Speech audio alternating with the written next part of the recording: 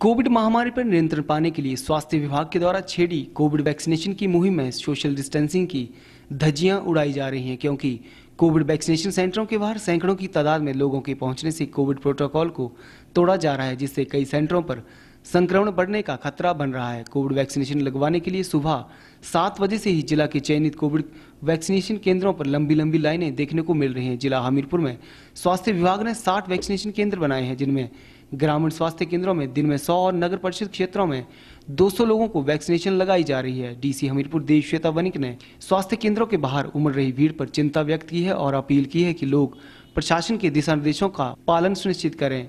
स्वास्थ्य जाँच केंद्र उखली में बनाए गए कोविड वैक्सीनेशन केंद्र में पहुँची युवतियों ने बताया कि सुबह सात बजे से वैक्सीनेशन केंद्र में टोकन लेने पहुँच गए थे और केंद्र के बाहर लाइन में लोगों ने मास्क तो पहने हैं, लेकिन सोशल डिस्टेंसिंग कम ही देखी गई है। उन्होंने बताया कि केंद्रों के बाहर कई लोग सोशल डिस्टेंसिंग को दरकिनार कर रहे हैं, जो कि गलत बात है।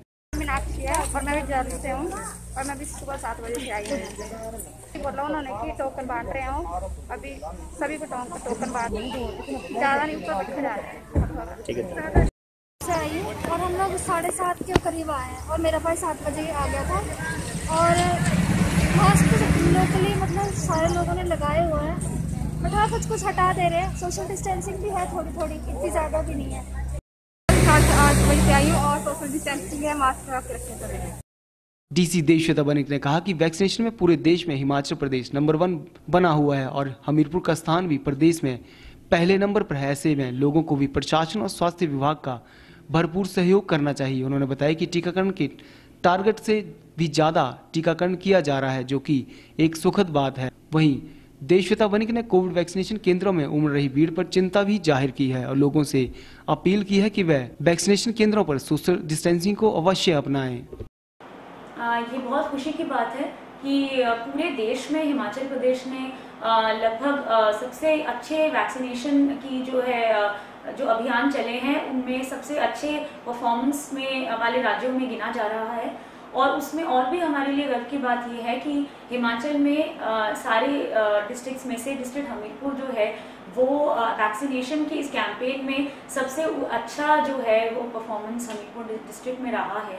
और इसके चलते जो है फोर्टी नाइन पॉइंट फाइव प्रतिशत जो अबव 18 की पॉपुलेशन है डिस्ट्रिक्ट हमीरपुर की, उनको एक बार जो है पहली खुराक वैक्सीनेशन की वो लग चुकी है।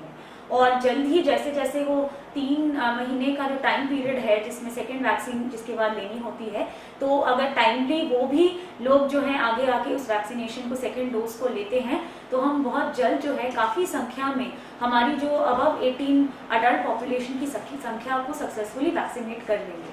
आप सभी को पता है कि मंडे से जो है सोमवार से हमारे पूरे देश में और प्रदेश में एक व्यापक अभियान जो है अबव 18 पॉपुलेशन की वैक्सीनेशन की वो चल रही है और डिस्ट्रिक्ट हमीरपुर ने फिर से जो है काफ़ी अच्छा प्रदर्शन करते हुए हमारे टारगेट से ज़्यादा अचीवमेंट की है वैक्सीनेशन की। एक आग्रह हम सभी अपने युवा साथियों से ज़रूर करना चाहेंगे कि हम अक्सर देख रहे हैं कि जहाँ जहाँ वैक्सीनेशन की साइट्स हो रही हैं वहाँ पे सोशल डिस्टेंसिंग और भीड़ भाड़ जो है आ, आ, वो ज़्यादा हो रहा है। सोशल डिस्टेंसिंग लोग कहीं कहीं ना कहीं भूल रहे हैं। आप सबसे गुजारिश है कि इस तरह की अगर हमें कहीं सूचना आती है तो या इस तरह से लोग अगर कोविड के नियमों का पालन नहीं करते तो हमें मजबूरन जो है काफ़ी सख्त कदम उठाने पड़ेंगे।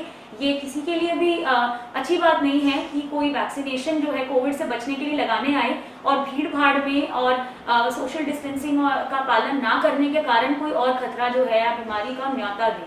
आप लोग कृपया जो है भीड़ भाड़ ज़्यादा ना करें और आ, जब लोग थोड़े ज़्यादा मात्रा में कहीं भी अगर पहुँच जाते हैं तो भी आराम से लाइन में लग के सोशल डिस्टेंसिंग का पालन करते हुए ही अपना वैक्सीनेशन करवाएँ।